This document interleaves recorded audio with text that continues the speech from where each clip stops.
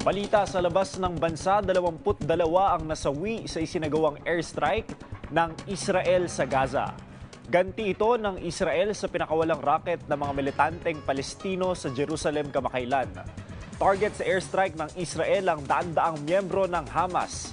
Una rito, nagpakawala ng rocket ang militanteng grupo sa Jerusalem matapos mabigong lumaya sa kanilang moske ang mga sundalo ng Israel.